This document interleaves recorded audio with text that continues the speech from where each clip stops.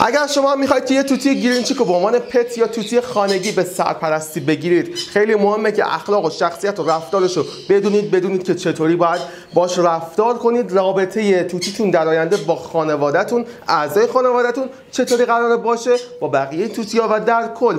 بشناسیدش که بتونید بهتر باش زندگی کنید که نه توتیتون اذیت بشه نه شما اذیت بشین.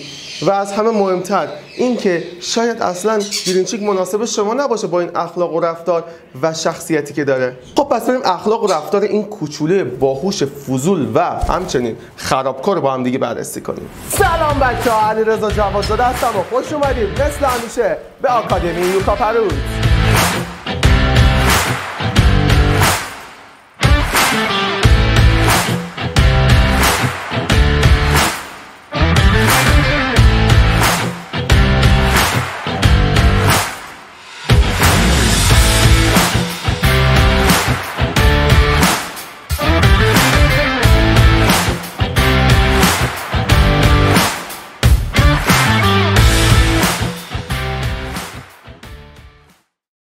خب خب همونطور که همیشه گفتم هیچ وقت نباید بیگدار باب بزنید و یه توتی رو به سرپرستی بگیرید. وقتی که نمی‌دونید اخلاقش چطوری رفتارش چطوریه قرار چطوری با خانوادهتون بقیه اعضای خانوادهتون رفتار کنه قرار چطوری با بقیه پتها رفتار کنه. یعنی شما ممکنه یه سگ داشته باشی یه گربه داشته باشی یا خدا.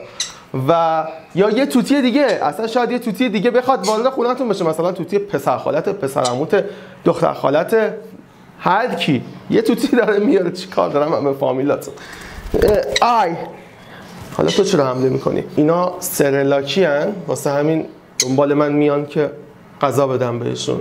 با اینکه خوردن. اما در کل باید بدونید که توتیتون قراره چه رفتاری با بقیه داشته باشه و اینکه آیا شما از پس رفتار و شخصیت این توتی برمیایید و اصلا با شما سازگار هست یا نه.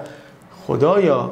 خب در کل امروز می‌خوایم همین رو بررسی کنیم که اخلاق و رفتارش چطوریه و رابطهش با بقیه چطوریه و اینکه یه ذره هم بگیم که آقا مثلا چه کارهایی دوست داره انجام بده چه کارهایی دوست داره که شما براش انجام بدین چقدر تایم نیاز داره و چقدر انرژی نیاز داره که ته روز شما بهش رسیدگی کنید و بهش براش وقت بذارید و در کل بیرون از قفس باشه و باش بازی کنید و به چه چیزایی نیاز داره. مثلا اسباب بازی اینا چقدر نیاز داره خرابکاریش چطوریه. در کل می‌خوایم اینا رو بررسی کنیم اما قبل از که بریم سراغ ویدیو و کامل واسهتون اینا رو توضیح بدم. اگر از channel من خوشت میاد همین الان اول نمی‌خوام subscribe کنی الان یه دونه لایک بزن یا اگر subscribe دارید دوباره لایک بزن و subscribe هم بکن.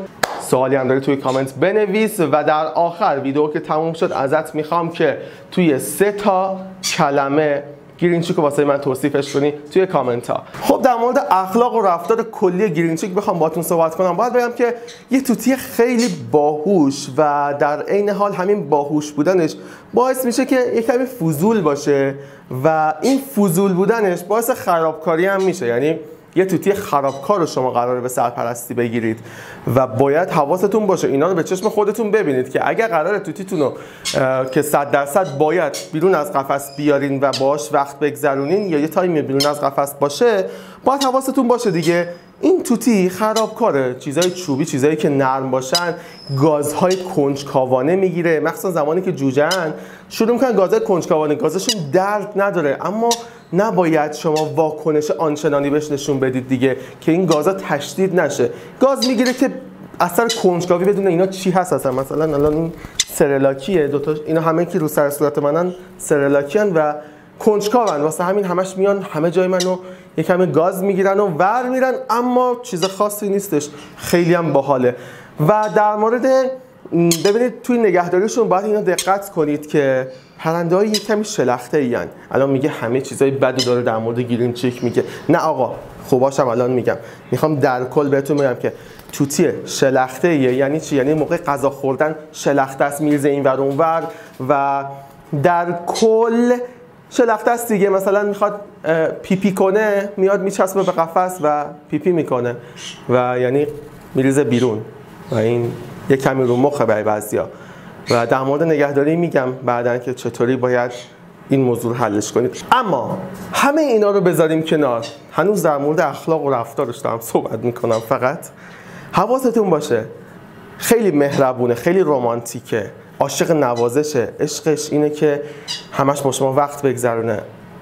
ولی حواست نباشه و یه اشتباهی بکنی این توتی خیلی کینه ایه اگر بالاش شما بچینی تا مدت ها فراموش نمی‌کنی که شما پرواز ازش گرفتی. بنابراین اگر قرار پروازش رو محدود کنی حتما بسپار به یک کسی که این کار است و از خانوادت نیست. و مورد دیگه این که حواست باشه علکی باش دعوا نکنی. با هیچ توتی شما نباید دعوا کنی نباید تنبیهش کنی.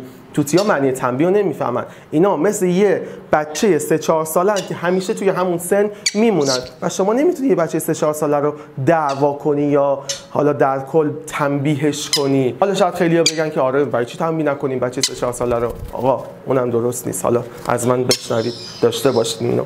اما در مورد ارتباطش با اعضای خانوادهتون. ببینید گرین چیک بیاد توی خانوادهتون میشه رئیس. یعنی اگر یه کمی حواست نباشه می‌بینی اه این شده رئیس خونه. هر کی هر چی می‌خواد باید از این اجازه بگیره. یعنی چی؟ یعنی اینکه این میشه. رئیس مثلا صاحبش و کسی بخواد نزدیک صاحبش بشه نزدیک وسیله‌هاش بشه نزدیک قفسش بشه نزدیک هر چی بشه این باید اجازه بده و اصولا هم اجازه نمیده.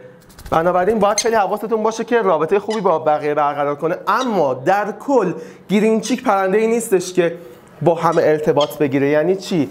خیلی اجتماعی. اما تک تک صاحبه یعنی اگر با مثلا با پدر خانواده اخت گرفته باشه خیلی کم پیش میاد به بقیه بخواد باج بده و با بقیه مثلا بخواد ارتباط خیلی صمیمی داشته باشه.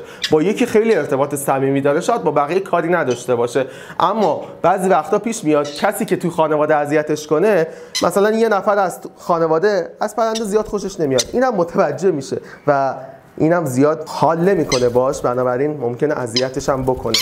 و در کل حواستون باشه دیگه. پرنده تک صاحبی اگر بچه دارید و می‌خواید که پرنده رو واسه اینکه با بچهتون ارتباط خوبی داشته باشه تهیه کنید حتما حواستون باشه. از همون اول بذارین با بچه خوب بگیره و اونس بگیره.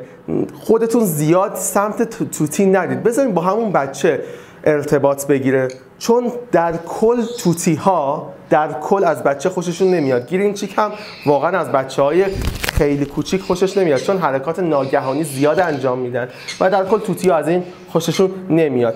و بذارید که با بچه اونس بگیره و بعد شماها وارد ماجرا بشید و با توتی بخواید وقت بگذرونید. سعی کنید که بذارید با همون بچهتون یا کسی که می‌خوای توتی رو نگهداری کنه با اون اونس بگیره. و انتظار اینو نداشته باشید که توتی با همتون یه جور رفتار کنه و به حرف همتون گوش کنه. اینو اصلا کلا واسه گرینچیک از سرتون بندازین بیرون. نگاه این چقدر گاز می‌گیره؟ سر کنجکاویه. نگاه. آخه تو که الان غذا خوردی. و اما دوره لک و جفتگیریشون زمانی که از لحاظ جنسی آمادهن خیلی تهاجمی میشن.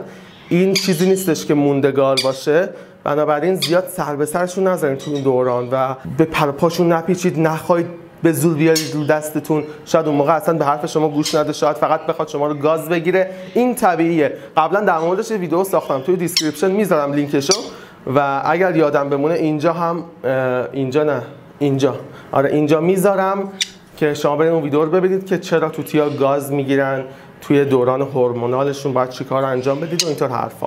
و اما ارتباطشون با بقیه توتیا. ببین یه ضرب المثل هست که میگه فقط یک کانوره که از پس یک کانور برمیاد و گرینچیک هم کانوره در ضمن و بقیه کانورها مثل خورشیدی اینا شاید بتونن از پس گرینچیک بر بیاد وگرنه این گرینچیک به هیچ پت و توتی دیگه باج نمیده. مگر اینکه این توتی از جوجگی بیاد وارد خانوادهتون بشه و اون پت قبلی وجود داشته باشه. با پتای جدید خیلی طول می‌کشه تا بخواد رابطه برقرار کنه. پس اگر یه پت دیگه دارین حتما حواستون باشه که تو قفس‌های جداگونه نگهداری کنید و بدونید که گرینچیک یه مقداری حسود هم هست. یعنی ببینه شما با یه پت دیگه ای شاید به شما هم حمله کنه که بگه آقا دستش نکن. و با گربه و سگ و اینا اونی که سرتره و اونی که قراره به اون یکی حمله کنه گرینچیکه. گرینچیکه که حمله می‌کنه به گربه شما. گرینچیکه که حمله می‌کنه به کاسکو یا کاکادو شما. و این شاید باورش یکم سخت باشه اما همینه. با این جسه کوچیک دل بزرگی دارن و یه کمی کلشون به قرمه سبزی میده. و اما در مورد انرژی و تایمی که شما باید براشون بزنید. ببین همینجور که می‌بینین اینا تازه جوجن و پر انرژی ترین توتیایی که من تو مجموعه هم دارم. یعنی گیرین چیک واقعا به انرژی زیادی نیاز داره. شما باید وقت زیادی بذارید واسش قفس بزرگ و اسباب بازی های فراوون. اگر انرژیش رو تخلیه نکنید سر شما تخلیه می‌کنه. همینجور که می‌بینید داره میاد با من بر میره. بنابراین حواست به این موضوع باشه. یه چیز دیگه که من عاشق گیرین چیکم اینه که خیلی پروازی های خوبی هن. می‌بینید یعنی مثل گنجش پرواز می‌کنن. یعنی خیلی تیز پروازش. توی خونه خیلی خوب پرواز می‌کنن مثل عروس هلندی و مثلا ملنگو نیستش که تق تق بخورن به در و دیوار و پنجره. حتی پنجره ها رو قشنگ تشخیص میدن اما حواستون باشه که قشنگ خونتون باید ایمن باشه وقتی که می‌خواین پرنده رو به پرواز توی خونه در بیارین. و نیاز هم دارن که روزانه توی خونتون پرواز کنن چون همونجور که گفتم انرژی زیادی دارن و باید این انرژیشون تخلیه بشه. خب بچا این بود در مورد اخلاق و رفتار گرینچیک من بیشتر بیشتر اومدم روی چالش هایی که شما قرار با گرینچیک داشته باشین تمرکز کردم. ولی در کل گرینچیک خیلی پرنده با احساس و باحالیه. عشقش اینه که همیشه کنار شما باشه و بهترین تریک و حرکات نمایشی رو می‌تونید بهش یاد بدین. چون همونطور که گفتم خیلی باهوشه. اگر گرینچیک داری ویدئوی خوبی داری ازش یا ویدئوی خوبی می‌تونی ازش بگیری حتما واسه من بفرست. حتما یادت باشه که ویدیوها رو اینجوری بگیری واسم اینطوری نگیری. بفرست توی کانال تلگرام. یه آیدی اینجا می‌ذارم به همون آیدی بفرستید. من از ویدیوهاتون استفاده می‌کنم. توی همین ویدیوهایی که واسه یوتیوب می‌سازم و به اشتراک می‌ذارم واسه همه.